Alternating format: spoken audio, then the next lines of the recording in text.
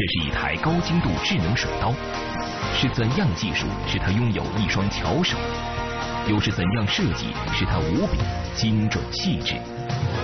敬请收看《崴发明》，激流利刃。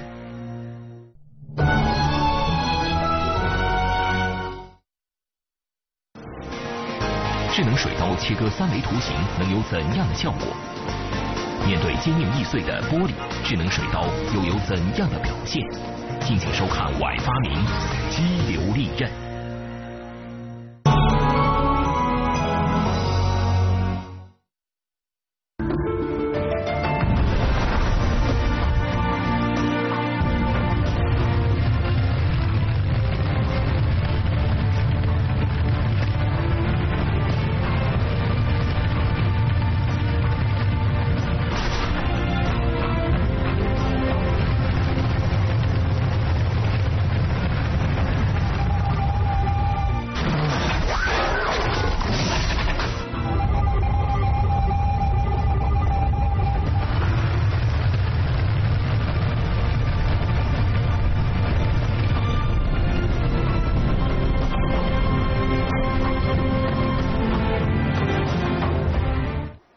家好，欢迎收看今天的我爱发明。今天我们演播室请来的嘉宾呢，还是我们的科学顾问彭老师。欢迎彭老师参与今天的节目哈。呃，彭老师其实参加我们节目有两三年的时间了，每次都会做各种各样非常精美的道具。您做各种道具的时候用什么切割呢？呃，切割呢一般是用锯，有手锯，有电锯。嗯，呃，有没有想到，如果说给您一把水刀，用水刀进行切割？切一些不怕水的，像石料啊。金属啊，那应该是可以的。那今天我们要了解的这个水稻，它有一个名字呢，叫做五轴联动智能水稻。那么这种水稻有什么特点？它切割出来的效果又有什么不一样呢？赶快进入我们今天的节目。发明人曾纪月、张世进团队发明项目高精度智能水切割系统。水切割理论最早出现于上世纪五十年代，它是利用超高压技术，把水加压到三百兆帕左右，然后再通过内孔直径零点三毫米左右的喷嘴，喷射形成速度超过两倍音速的高速射流，用来进行切割作业。因为其技术的复杂性，直到上世纪八十年代才被用于工业生产。现年五十二岁的曾继月，一九八三年从广西大学毕业，一九八六年赴美留学学习机械工程专业。当时水刀刚刚研制出来，大家对这个水刀的切削原理还不是很理解，所以当时我就选择了先对这个呃水刀的切割原理进行了深入的研究。能否使水刀用于精密加工领域呢？曾继岳通过无数次实验和计算，于1992年在业内首次提出了一套完整的数学模型，使高精度水刀的出现成为可能。98年，我把水刀的这个切割的原理啊应用到这个水刀切割的控制上面去，让水刀能够进行精密的加工。由于他的杰出贡献，2005年。他获得业内最权威的美国水射流协会最高技术奖，达到了事业的巅峰。但是，两千零六年，他和同事张世进一次回国参观，改变了他们的人生轨迹。当时我跟曾博士一起回来参观了一个航空航天设备制造的一个企业，但是这个企业呢，正好有一台非智能型的水刀，效率非常低。这时候我们才意识到。国内如果需要加工一些精密的零部件，我们必须要非常精密的一些设备来进行进行加工。所以当时呢，我们俩就决定，呃，把自己多点在外面所需的东西把它带着回来。为了避免专利侵权，他们选择完全重新研制一款水刀，不但各个部件重新设计，甚至连控制软件都完全重新编写。经过三年的努力，二零一二年。我国第一台五轴联动高精度智能水刀终于研制成功。这台水刀工作压力三百八十兆帕，可以进行三维切割，精度可以达到零点零五毫米。您能说一下什么叫五轴联动吗？对于两轴或者三轴的水刀来讲，喷嘴它总是处于一个垂直的一个它只能垂直向下位置。对。那么对五轴联动呢？这个碰嘴就可以任何一个方位角摆动一定的角度，这样它就可以切啊锥面。目前掌握五轴联动控制技术和这个水刀切割技术结合的，世界上也只有那么两三家。它还有什么特别之处呢？张博士，您是哪年最早见过水水切割设备的？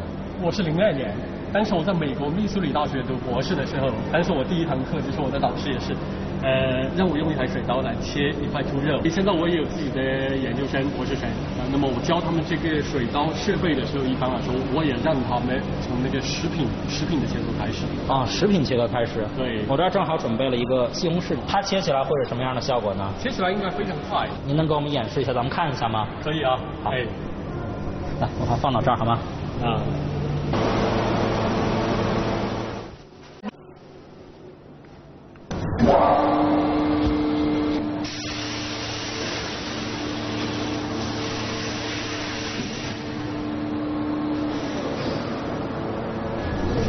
张教授，您看这切的怎么样啊？你觉得？哦，切挺好。哦，我觉得在家里切西红柿的时候，有的案板上也会撒点西红柿的这些汁液，这好像什么都没有。对，因为水刀切的过程，它本身力非常小，所以你基本看不到。一般来说，水刀切一些，比如说那个非常软的一些东西，都切得非常好。要硬一点的水果呢，比如说切一个西瓜呢，能切得了吗？呃，应该没有问题，我们可以试试看。工作人员把西瓜固定在钉子上，依靠纯水的力量，能把大西瓜切开吗？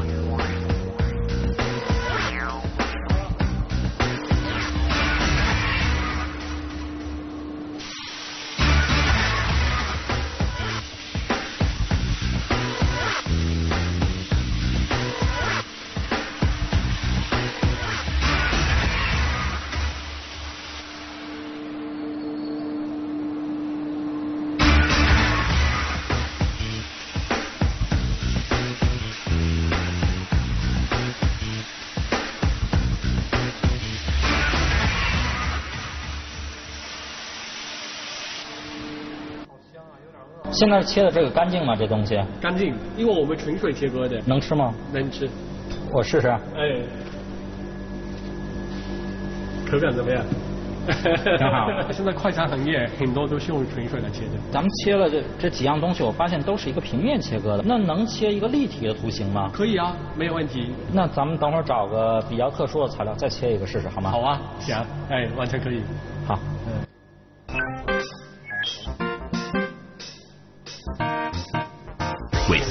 们选择了一块海绵进行切割。我们将在海绵上切一个像这样的上窄下宽的立体五角星。据我所知，这个机械加工海绵比较困难的是吗？对的，非常困难。比如说激光，激光烧这个东西的话，很快就融化了。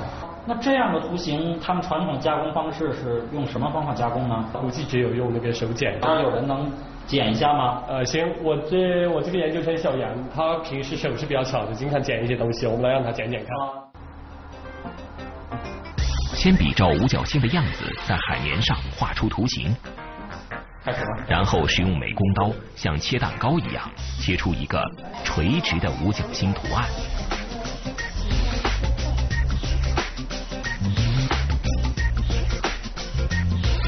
然后再给它切一个均匀的，上面小，下面大的。这一步是难度最大的，因为刀一碰海绵，海绵就会变形，很难进行准确定位。好，我看看，切完了给大家看看成什么样了，都成这样了。再看看这个。五角星要切的非常整齐的话，这个非常难。也就是说，这个斜面或者说这个弧面，就是依靠人工控根本控制不好。那么，智能水刀能切成什么样呢？要用一个五轴联动的这个机构。有了这个技术的立体的这个图形，就能切出来吗？还是比较简单的。好，那咱们来试一下好吗？可以，可以。这台机器真能切出完美的立体图形吗？工作人员输入各种参数，准备切割。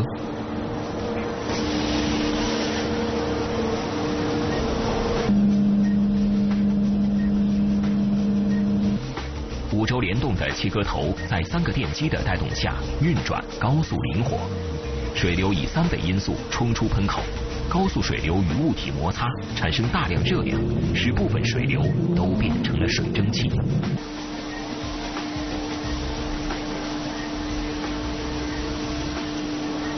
仅仅一分半，五角星就被切好。但它能是一个均匀的立体图形吗？咱们拿下来看一下好吗？这是中间切出来个芯儿，来，再来看一下这个，这每一个角都是对称的，上面小，底下大。这个您觉得切的您满意吗？您可以。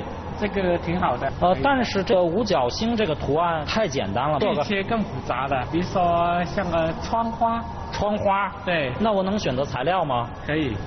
我听说他们说这个橡胶这东西就比较难以切割，没问题，那我试试看，走。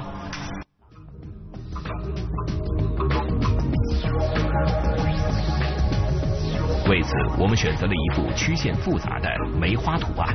我们先用适于进行复杂曲线切割的精雕机进行雕刻。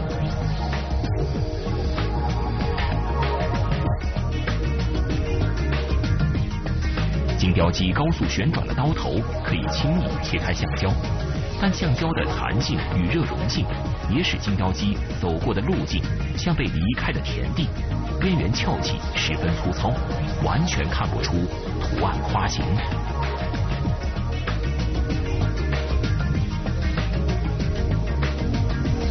那么，高精度智能水刀能有怎样的表现？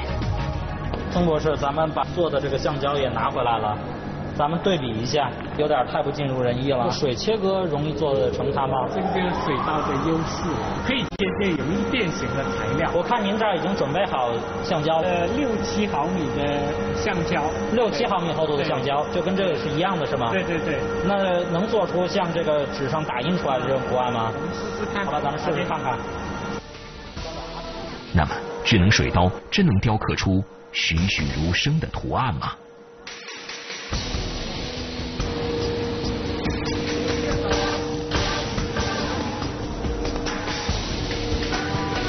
高弹性的橡胶在遇到三倍音速的水流时，立刻被划开，边缘再也没有出现翻卷现象。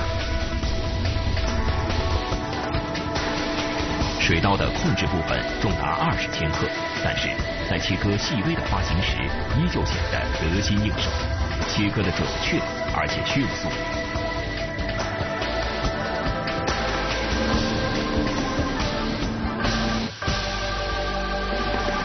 博士，您觉得会怎么样呢？这个效果？我们看看吧。我觉得可能会比较，可能不一定好。你看这个，有的地方橡胶有弹性，有的地方已经翘起来了。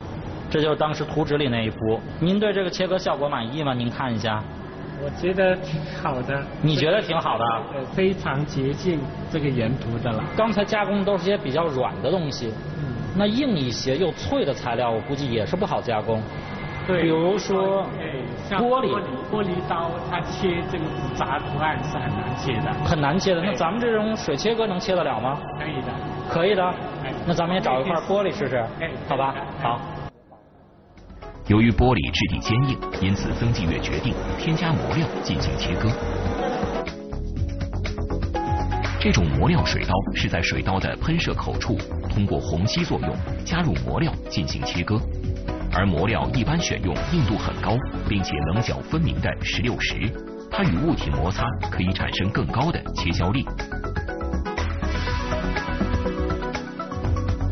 那么，添加磨料后，水刀的切割能力究竟如何？这么厚的玻璃可能有接近十个毫米，十个毫米，一厘米厚了啊。那您能切出一个什么图案？我们限制那种玻璃弹簧。玻璃弹簧，对，玻璃能做弹簧，对，哎，就相当于你一圈一圈的切出来，它非常薄的，壁弹簧一样的，非常软的东西。那咱们看一下好吗？可以啊，好，我们来切一个试试。行。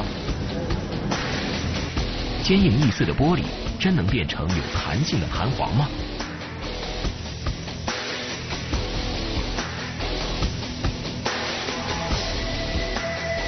玻璃弹簧是将玻璃进行螺旋形切割而成。由于本身硬度高，不易变形，因此只有把玻璃切得很薄，才能展现出它的弹性。但此时只要稍有不慎，就会把只有一毫米厚的玻璃打碎。看来切割玻璃不但需要一把锋利的刀，还需要极高的控制技巧来精确走位。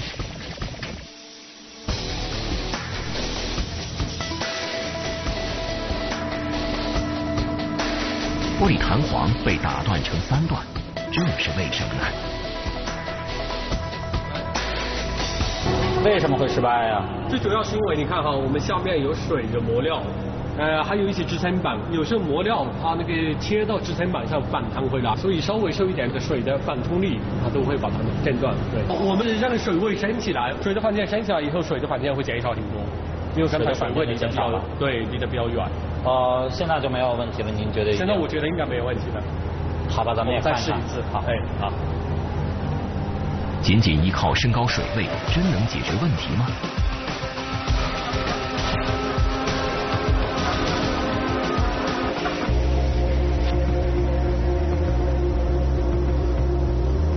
玻璃被切成仅一毫米的弧形薄壁结构时，自身将会很脆弱，因此必须以合适的速度切割。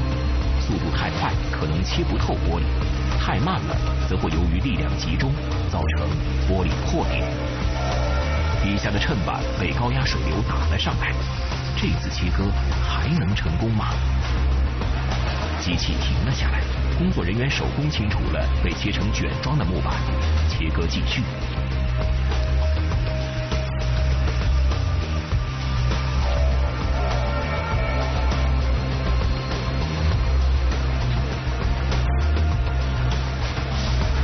玻璃弹簧渐渐成型，弹簧的内圈已经慢慢下沉下去，弹簧切割完毕。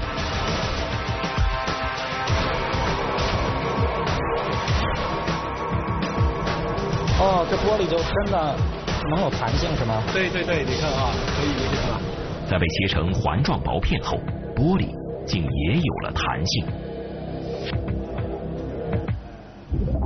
刚才我们看到呢，增加了磨料之后的这个水刀切割效率是大大的提高了，这是为什么呢？我们要请彭老师给我们讲一下。那么我们来看生活当中的一个例子，比如说我要对一个物体进行打磨，这时候你可以用，我这儿拿的是一张纱布，你可以用它的背面去打，这拿的是一张砂纸，你也可以用它背面去打，这个打磨效果。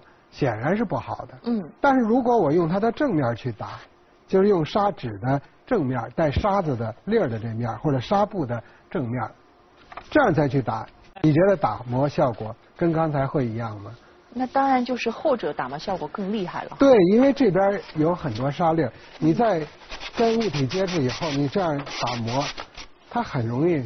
就给这儿给打磨干净了，所以我们说，在这个水里头加上沙子以后呢，就相当于是用砂纸对这个东西进行打磨。嗯，所以里头加上这些颜料以后，它的切割效果会更好一些。说到咱们今天这款呃五轴联动智能的这个大型水刀，其实它在做精密加工的时候是会遇到一些问题的。接下来呢，我们要带大家去看一看，它会遇到一些什么样的障碍。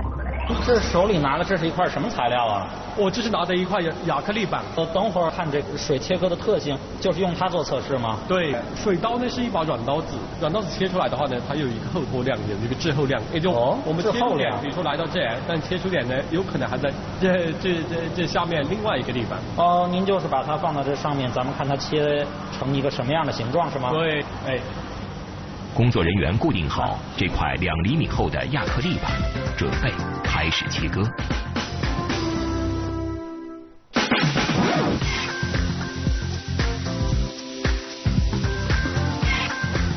高压水流裹带着磨料冲击而下，虽然力量十分惊人，但是在透明亚克力板上留下的切割痕迹，不是一条直线，而是一条抛物线，并且越往下面弯曲度越大。看来，水刀这把软刀子和真实的刀子确实不同。这就是您说的水切割材料发生的问题是吗？对对对，现在我们明显的看出来，切入点在这，但是切入点它是有一个滞后量。那不同的材料滞后的这个距离也不一样的吗？不一样，完全不一样。这不仅仅是材料的问题，它有一个压力，有一个磨料的流量，还有一个我们走刀的速度，一系列的因素，每一个因素对它都有影响。是如果要把水刀用在比较精密的加工的话呢，这个就需要，比如说一个传一般的操作人员的话呢，需要十年以上的经验，有可能才能做出。稍微好一点的这个工件，这个可以解决吗？可以解决。你比如说，现在我们的智能水刀就把这个问题解决了，全部有软件来预测。智能水刀有了之后，这个对操作人员的要求就降低了吗？降的非常低了。现在连那个连一个小孩用我们智能水刀都可以切出非常高精度的零部件，不需要长时间的培训，只要几个小时的培训，几个小时的培训。对。就可以做真的吗？真的，我不太相信。我我找我儿子，他才七岁，我们对他做个做一个简单的培训，他就可以切出非常高精度的东西。真的能行吗？真的能行。那行，咱们看看去。好。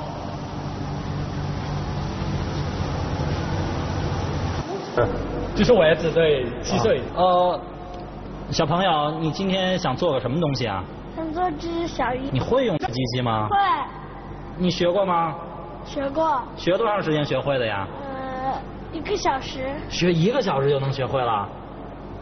这台机器很简单。真的一个小时就能学会吗？对的，操作其实就是简单的几步的操作就会了。你比如说，我们选择的时候呢，就有一个材质，比如说常用的材料我们都有的。就是，其实就是这一张菜单给它填写完整就可以了。对，这样几个简单的几个参数一输入就就行了。那等会儿让他试一下。可以。哎，好。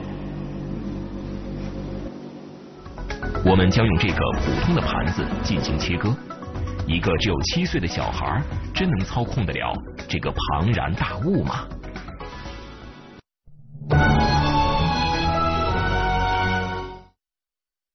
面对一百毫米厚的钢板，智能水刀能加工得了吗？高精度的切割又能做出哪些不同寻常的物品？敬请收看《晚发明》，激流利刃。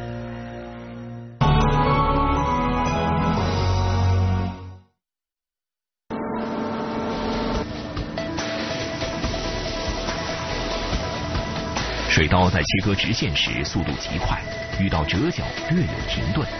这个看似简单的操控，在传统水切割领域需要极高的操作经验，才能驾驭自如。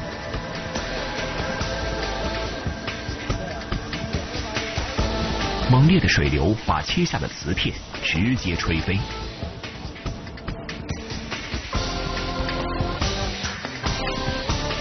这个这只鱼切的怎么样啊？挺好的，切的。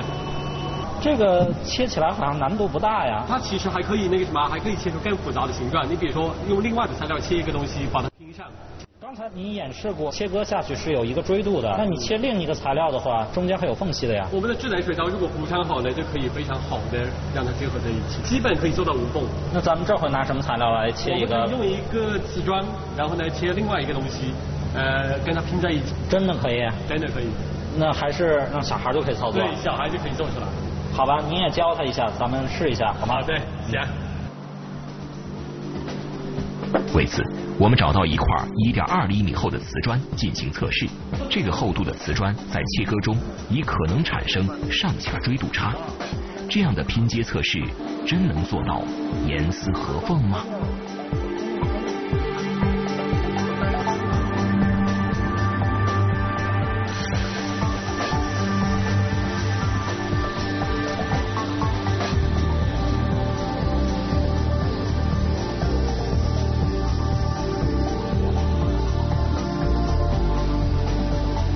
需要切割出边缘平直的图形，但是为了克服切割锥度的影响，五轴联动切割头进行了大幅度、全方位的摆动，而且切割速度也是不断变化的。这么复杂的运动，是否会对切割精度造成负面影响呢？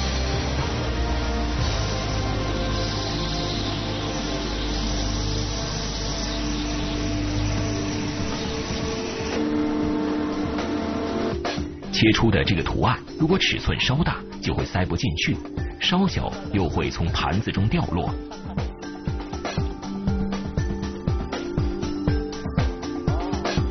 瓷砖正好卡在盘子上，不大不小，正好合适。但加工瓷砖只能算初级水平。如果加工高精度金属零件，又需要水刀，有什么特殊的本领呢？需要智能来计算这个锥度，然后用五轴联动来补偿它。哦，然后使它变得精密。我们栏目标志上有一个鲁班锁，这个东西需要严丝合缝，差一点就拼接不上。像咱们这个水切割能做出一个合格的鲁班锁吗？应该可以，应该应该可以。对，那咱们也选用这种材料，这种是铝镁合金，试试看。好，那咱们也试一下。好的，嗯。鲁班锁是一种榫卯结构的积木，它要求每一块都有较高的精度，才能紧密密合。为此，工作人员找到鲁班锁相关图片，并将图片转化为机器可以识别的图纸，然后将十毫米厚的铝镁合金板放到水刀切割台上，并将机器调整到位，一切准备就绪。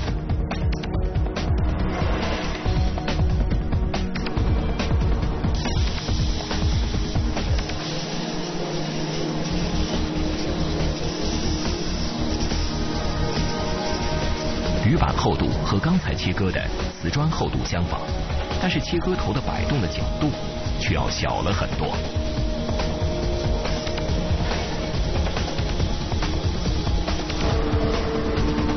由于铝的熔点比较低，因此用一般的切割手段很难一次性加工成型。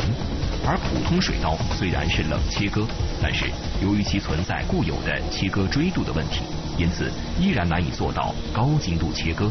那么，新型五轴联动水刀效果如何呢？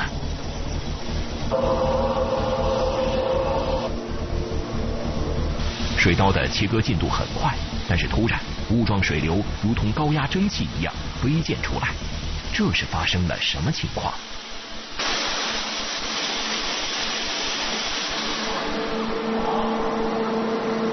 怎么刚才水怎么喷的到处都是啊？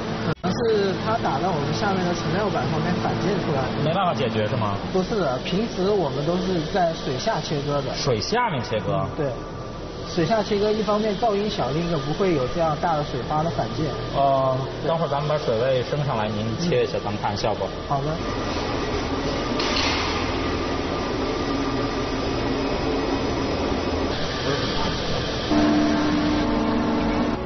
切割又重新开始，克制高压水射流的法宝竟然也是水。流动的水可以迅速消解高压水射流的巨大能量，不但不再有水花飞溅，连噪音也小了不少。经过近四十分钟的切割，鲁班锁的各个部件终于被切割完毕。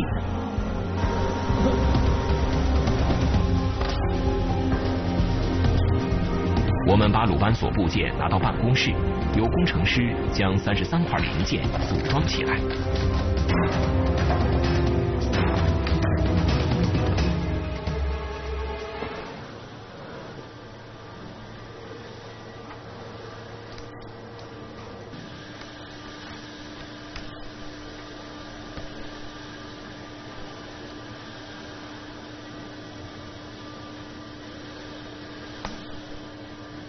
最后一块被装了上去，它现在真的严丝合缝了。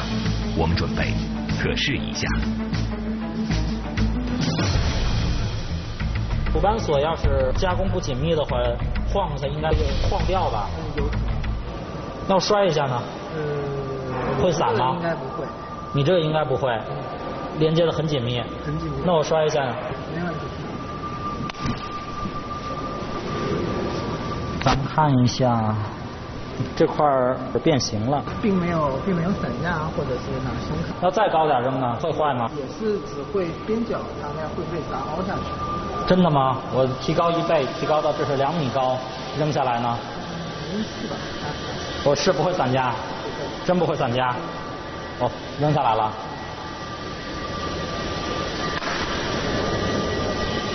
哎呦，地都砸坏了。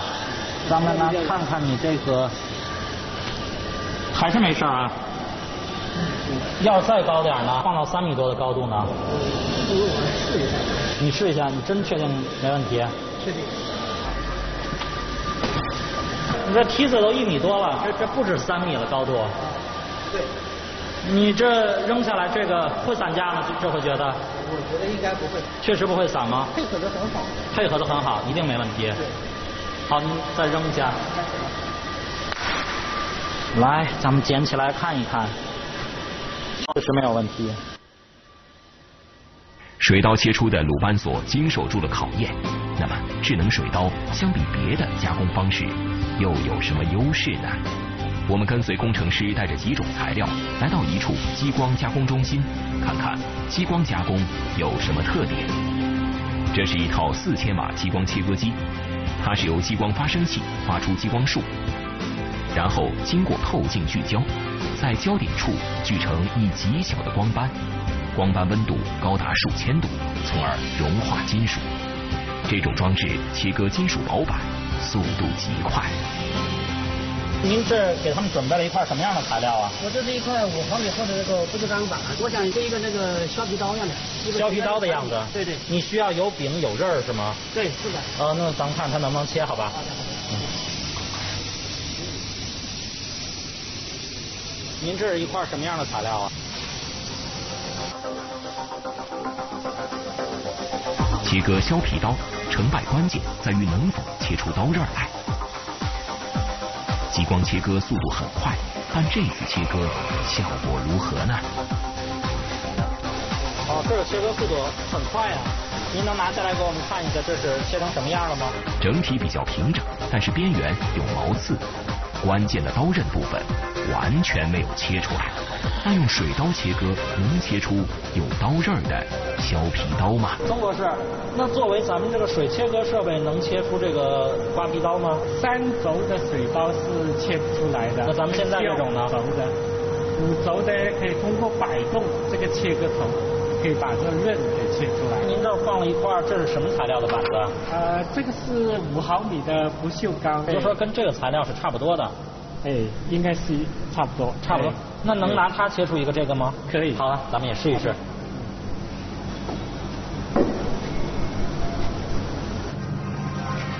刀刃的厚度通常在零点三毫米以下，一般需要先加工成毛坯后，再经过仔细打磨才能成型。想要一次切割出来，并且是用水刀这样的软刀子切割出来，其难度可想而知。该到最关键的部分了，切割平直的刀刃，水刀切割头却缓速做了个大回转动作，这个动作就能保证切出锋利的刃口吗？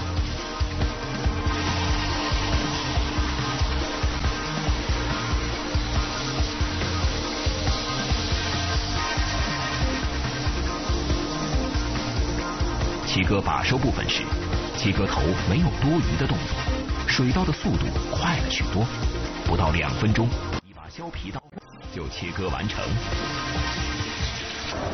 看一下啊，这是一把削皮刀，所以呢，它有个要求，要产生一个刀刃。对，那咱们量一量一下刃口多厚呢？刀刃大概是零点二毫米，刀刃只有零点二个毫米厚。我这儿准备了一个苹果，您觉得它真能削得了这个，把苹果皮削下来吗？应该可以，应该可以，我们试一下啊。这个只展示一个它能够摆动角度，呃，这这样一个功能。咱们这个五轴联动跟它通常的那种传统加工中的五轴联动有什么区别呢？这个主要体现在精度上面。哦。我们这个五轴联动的这个摆动的摆角的分辨率可以达到零点零一度。这个通常在其他的五轴联动，零点五度是比较普遍的。哦，这个相差了五十倍，那它加工的东西的精度也就相差很多，是吗？对。那个精细的加工可以做得了，那个厚的东西它还能加工得了吗？那咱可以。等会儿咱们也找一个材料试试好吗？可以的。好，哎。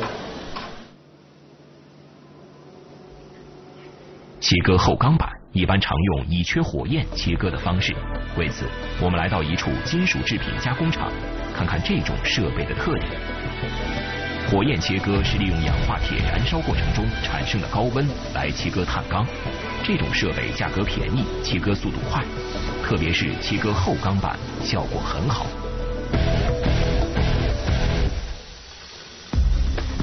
但是它的问题也很突出。作为高温切割方式，钢板在切割过程中会发生非常明显的热胀冷缩反应，因此无法用于精密切割。为了进行对比，我们只能用它加工一个结构比较简单的物品。这是一块厚达一百毫米的钢锭，我们打算在它上面切一个斧头形状。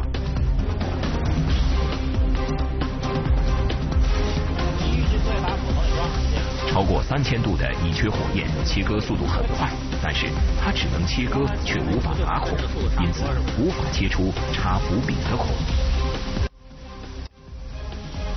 切割结束，它能切出一个边缘整齐、刃口锋利的斧头吗？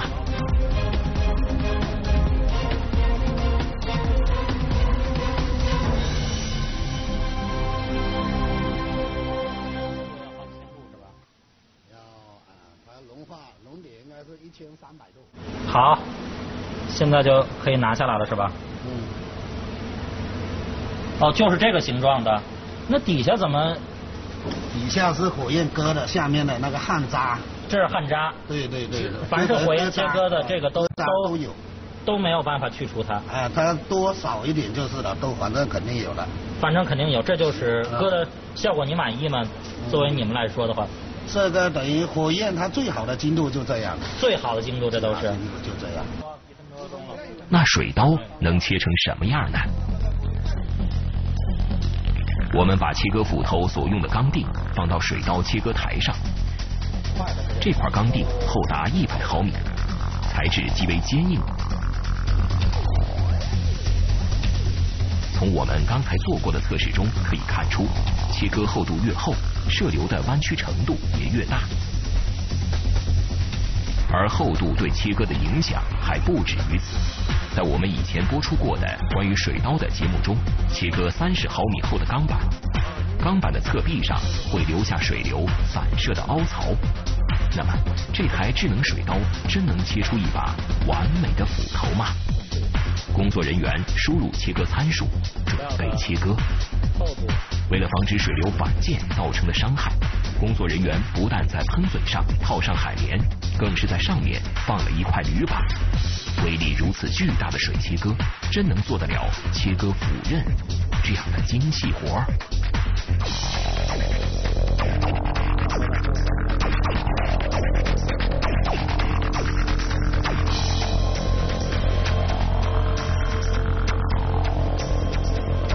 料太厚，水刀一时切不透，大量的水在高速摩擦中直接蒸腾为水蒸气。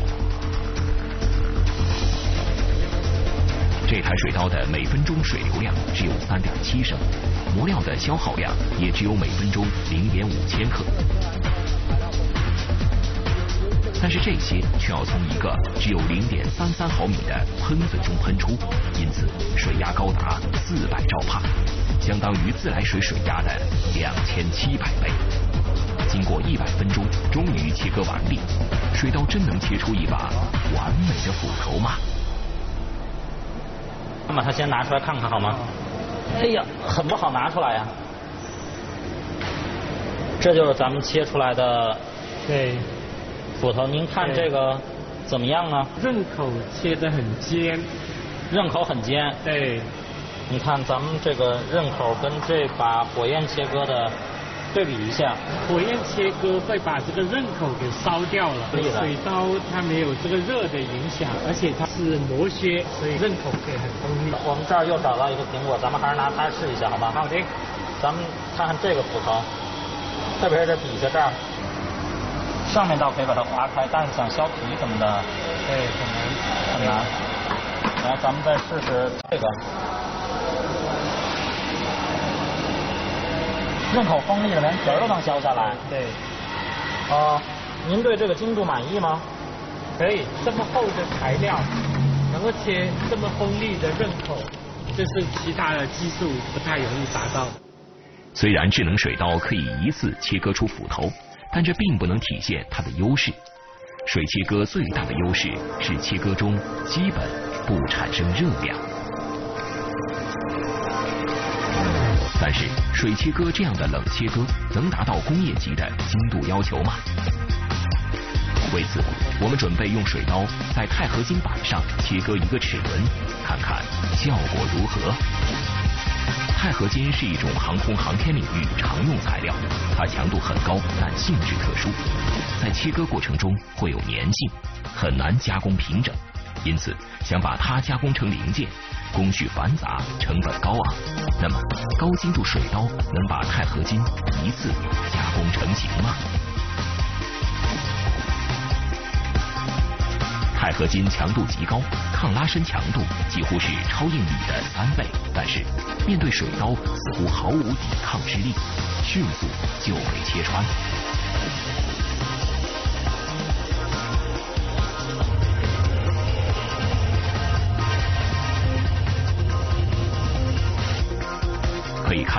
切割处火花迸溅，这是切割钛合金所独有的现象。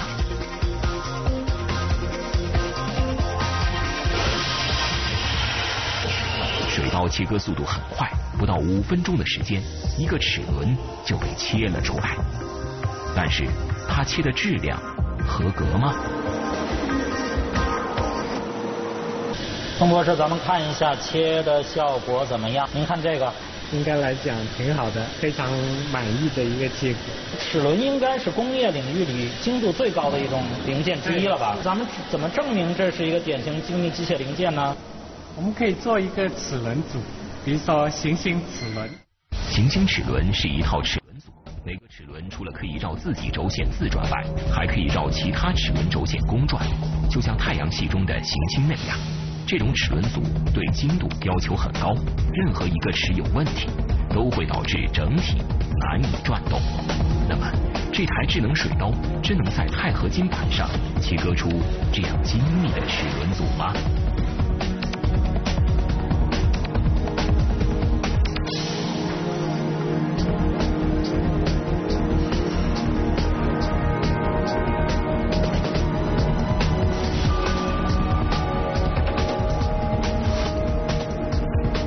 水切割是各种切割方式中原理最复杂、控制难度也最高的，而行星齿轮也是工业领域中的高精度的零件。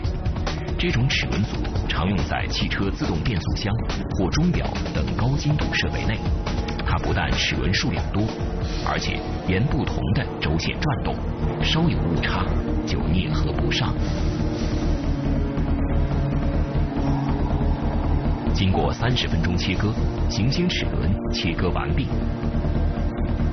这一个齿圈，四个齿轮，真能紧密啮合吗？我们把这一套齿轮拿到办公室进行组装。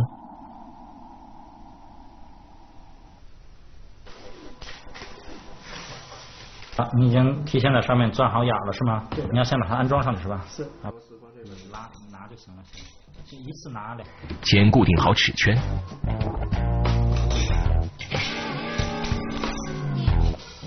再装好太阳轮。哦，它能转出来是吗？咱们先看放一个它能转的来吗？它一定要。啊。这个是适合这个。现在就是这三组齿来说配合是很好的。对。那我再放一个进去呢？看。这还能转起来吗？可以的。现在是三个齿轮了，如果再加一个，是不是难度就更大了？对。此时装上行星轮，它还能转动吗？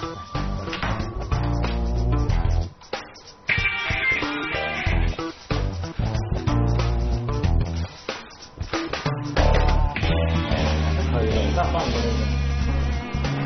好，咱们三个装上去。哦，您每一个螺丝它一组都可以转动是吗？啊，您曾博士对你们这个作品满意吗？嘿，挺好的，挺好的。这个精度达到你们的要求了吗？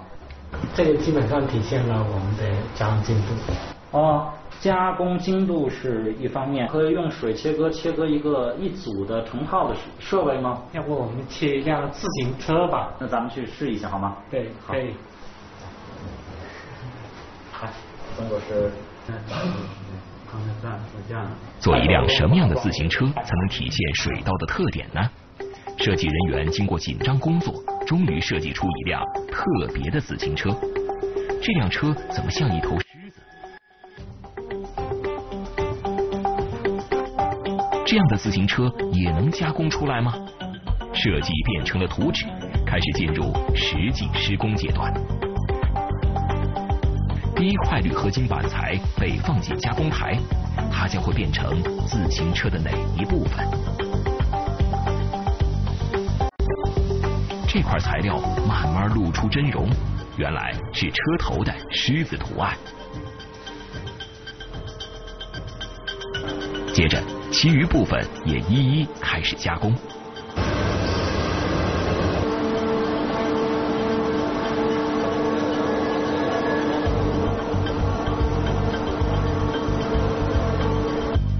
合金主体结构、亚克力车轮、不锈钢链轮被一一切了出来，最后橡胶车坐垫也被切了出来，自行车的所有部件被加工了出来。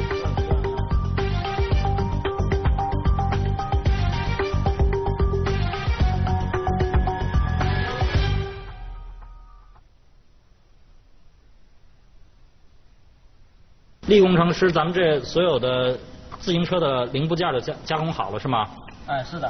这些都是水切割加工的吗？哎，对，这些都是我们自己加工水切割加工的。这几个轴承件的东西不是水切割加工不了。哎，对的。那您装一下，我们装完之后咱们试试好吗？嗯，好的。嗯嗯。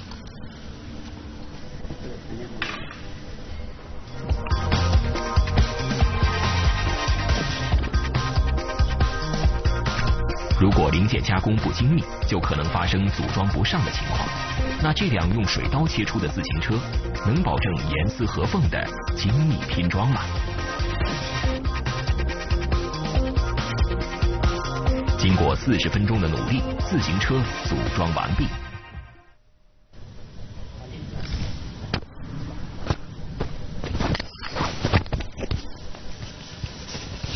感觉这个自行车怎么样啊？这个蛮好的，蛮好的，能骑得了吗？能骑。那我来先试一下，亚克力的轮胎不会坏吧？这辆车有二十多千克重，看来骑起来还是有些吃力。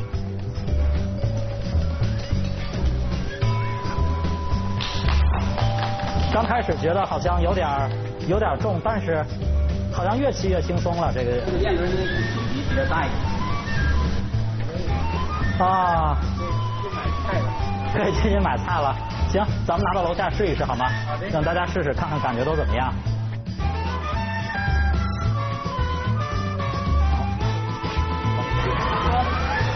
你也试试。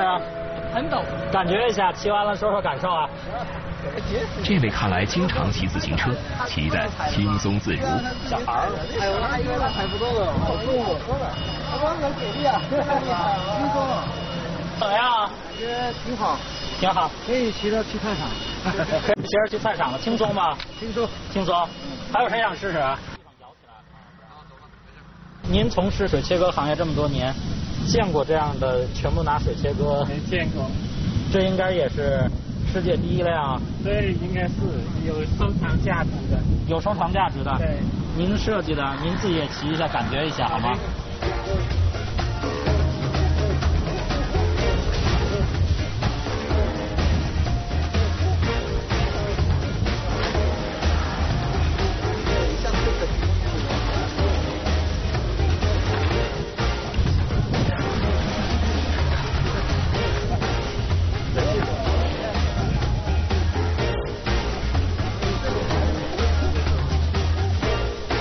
感觉怎么样，曾博士？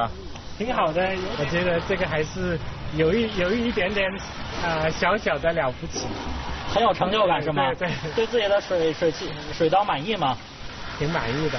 挺满意的。对。好。对。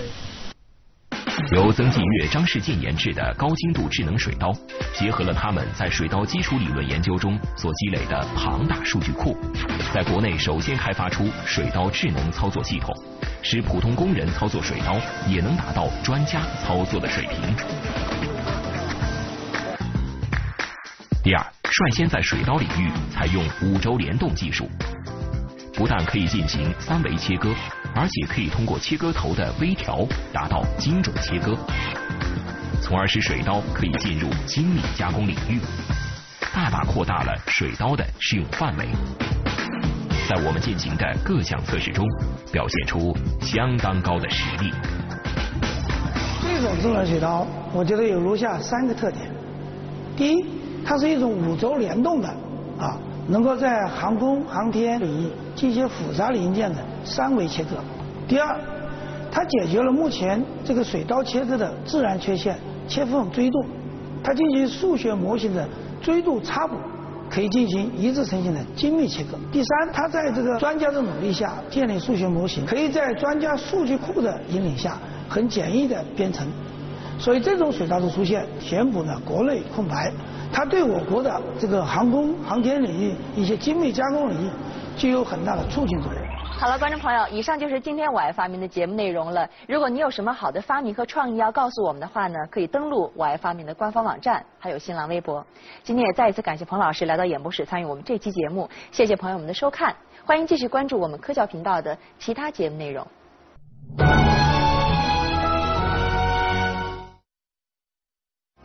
烤全羊味道独特，广受群众喜爱。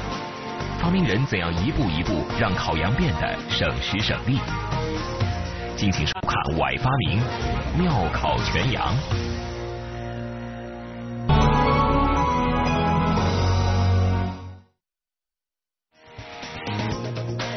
烤全羊味道独特，广受群众喜爱，但制作过程却极为辛苦。发明人怎样一步一步让烤羊变得省时省力？辛苦研发出来的机器又能否得到大家的认可？敬请收看《外发明》，妙烤全羊。